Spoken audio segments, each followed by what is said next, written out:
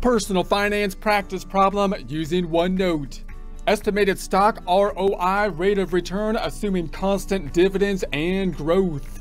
Prepare to get financially fit by practicing personal finance. You're not required to, but if you have access to OneNote, would like to follow along, we're in the icon left-hand side, Practice Problems tab in the 12240 Estimated Stock ROI Assuming Constant Dividends and Growth tab. Also, Take a look at the Immersive Reader tool. Practice problems typically in the text area too with the same name, same number, but with transcripts. Transcripts that can be translated into multiple languages and either listened to or read in them. We're thinking about investments in stocks, stocks representing ownership interest in a corporation, corporations being separate legal entities breaking out their ownership into fixed or standardized units of shares or stocks. We are also typically thinking about publicly traded companies, those trading on public exchanges, making them more transparent and accessible to individuals. And so we can see things such as their financial statements, for example, to make investment decisions upon.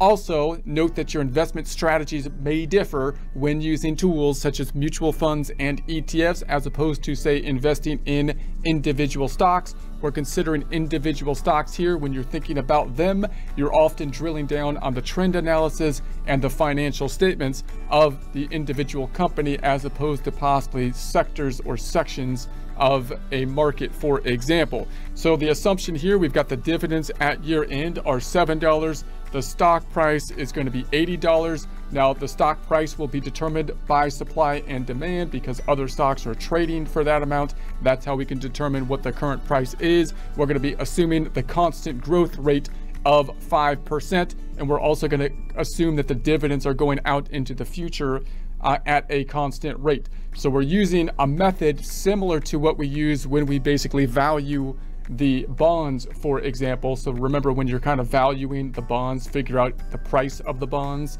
you're typically looking at the cash flows that are happening into the future, discounting them back to the current time frame, the cash flows representing a standardized fixed income flow of interest in the future, an annuity in essence, and then the payment at maturity.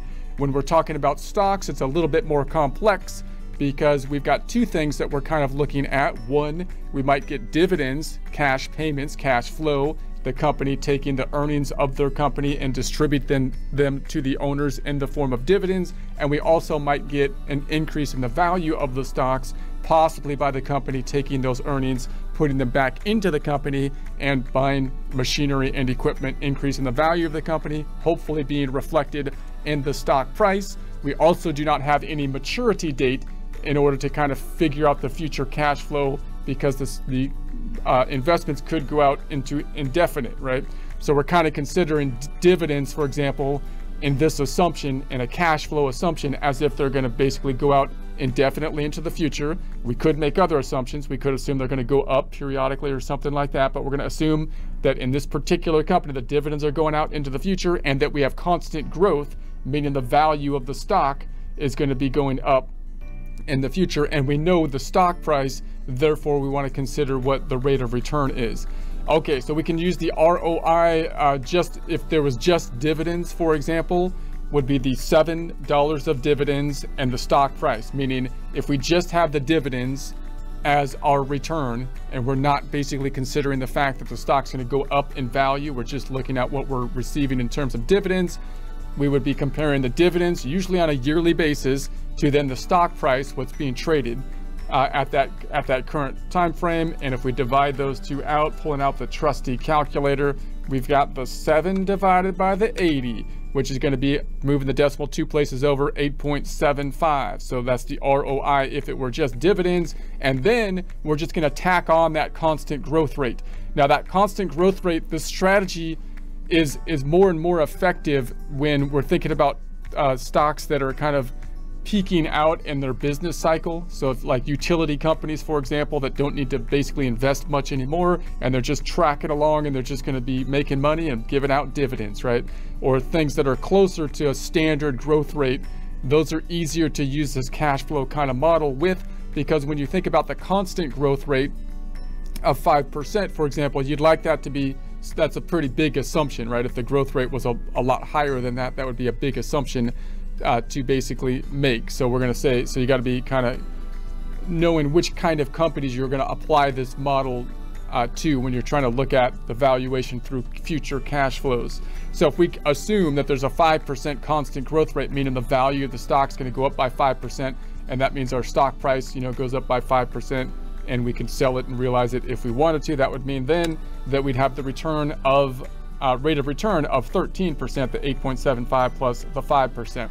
Now to kind of get an idea of what we're doing here, remember we're taking, if I took an annuity calculation and I calculated an annuity based on this present value calculation in a similar way to get back to the stock price. We've done this in prior presentations, so this would be similar to kind of like a bond calculation.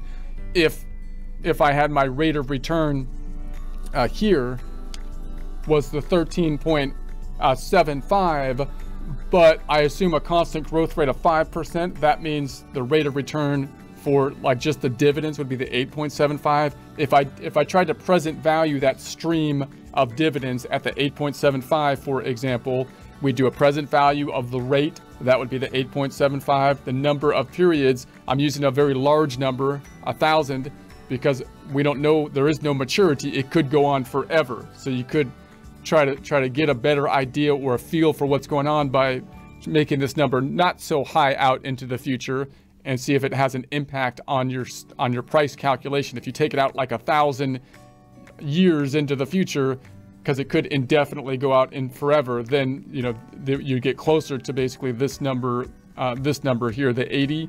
So comma, and then the payment is going to be the seven, and that's going to give us our $80. Just to see that, if you took the present, the annuity ROI with the dividend and growth rate, so now I use the same calculation using this 13.75 based on just the dividends. So I took the rate, which is going to be this 13.75. The number of periods is 100 this time. I'm just picking up fairly large number, comma, and then the payment is going to be the seven. Again, you'd get to that 5091. And we're going to try to use that number here as we kind of think about it uh, in terms of mapping out all the payments into the future. So we could do a similar calculation, try to map everything out into the future. You can actually do this a little bit more complex method if you're thinking the dividends are going to go up, not at a standard rate, for example. So then you can actually map out on the years into the future what's going to happen and do a, do a kind of a more complex model. So we'd have the dividends uh, are seven all the way across. So if we went out 100 years, $7 dividends, that would total up to $700, uh, but that's expanded over a long time frame. If I was to discount each one of these dividends on a year by year basis, this is doing it year by year is what allows me to increase the dividends if I wanted to use a model and assume that the dividends are going to go up, say every five years or something like that. Uh, but then we're gonna we're gonna say if I took that seven dollars and discounted it back using the rate of just this 8.75 percent, that would give us to the to the 6.443 uh, and if I did that all the way across of course it would get smaller and smaller as we discount for example seven dollars back using the 8.75 percent for four years. It's now at five. And if I go all the way out to 100 years I'm still getting that seven dollars because we're assuming that that is constant but it's very small it's a very small number once we go way out into the future. And that's why it's kind of indefinite, but they're becoming a lot less significant out there. And we get to something close to the $80. Not quite 80. That's why we used a thousand up here. So you can see the impact uh, on, on how far out you go when you actually map it out this way, which I think is kind of useful. If we did the same thing, but now we use the $7 dividend and we use the 13.75 rate of return, $7 discounted back at the 13.75 would give us the 6.15. And if I did that all the way across, then we can add all those up and we get to that 50.91, which is this 50.91 we got to here. And that's going to be used because we could try to think about, okay, what's going to be happening with this constant growth kind of idea. If I use that, if I use that 50.91 as our starting point, and I assume that we're going to increase by 5% constant growth. What does that mean from a cash flow? Now, note this isn't actually cash flow now. because we're not getting the dividends. We're saying that the value of the stock is going to increase by 5% each year, which means I could then have the option of selling it but I may not, you know, if I if I sell it, then I'm, the constant growth stops at that point in time, right? So it's it's the potential for us to have it, it's unrealized gains until we sell the stock. But if it went if it went up six five percent, then I'd have 50.91 times the 0.05. That would be an increase of 2.54 plus the 50.91 which would be 5345, or we can think about it this way. If I take 1 or 100% plus 0.05, that would be the 1.05 or 105% times the 50.91. That would get us to 53. So the stock price is going to go up to 53.45 times the 1.05. It's going to go up to 56.13 times the 1.05 and you can see the trend here. That's what we're assuming is going to happen. But notice what happens to our, our return then that we're getting. It's not an even return like the dividends were. The return is actually going up. So if this rate is fairly high, it's going to have a, a, a, kind of confusing impact on our calculation because it's not going to be the same all the way across. Meaning, if I, for example, if I compare that to the dividends, which are right here, I'm just pulling down the dividends that we did up top, $7 even that we're assuming all the way across 100 years out the the increase in the stock price starts to get significant, right? So now you're looking at the difference here. If you had a stock price, if my investment was at the 6375.8 times the point, uh, 05, we've got the 318. That's a significant increase in dollar amount, but it's a still 100 years out into the future. So it's still a fairly, fairly small once we kind of present value it back to the current time frame. So that's the two values that we're going to get. If we add them together, then we've got we've got the the the, uh, the, the just these two, the 2.55 and the 7, not the 53. So we've got the 2.67 and the the 7. That's going to be the uh, the amount of value we're getting into the future in terms of dividends and the increase in the stock price.